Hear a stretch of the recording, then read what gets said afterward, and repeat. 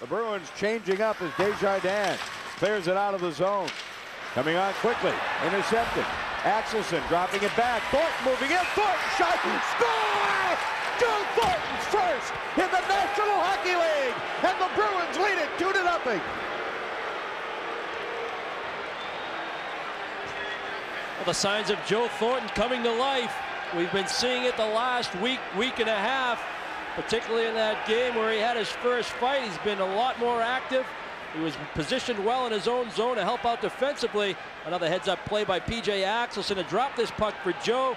Well, you can see the goal scorer's touch that the big number six has right here. Good hold, able to pull it to his backhand, the reach, and the presence of mind to know he had to get this puck up, maintain leverage. You can see Joe with his head up. Good curl and drag, forcing Snow to move laterally, and in doing so, he has to go down. Jumbo Joe throws that puck right up top off the near post for his first NHL goal.